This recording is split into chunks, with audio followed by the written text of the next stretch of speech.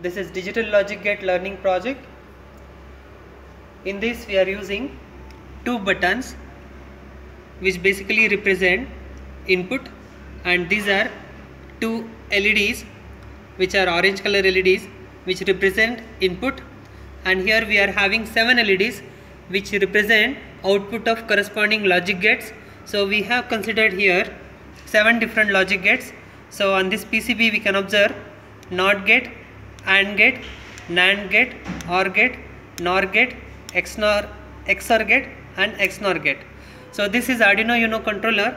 In this we are having a program code which accepts input from the user and it will show corresponding output on the LEDs. So we can check. So right now orange color LEDs are on which indicate that logic input is both high. I can use these buttons and you can observe. Orange color LEDs are now off so that represent I have given logic low data. So corresponding outputs will come.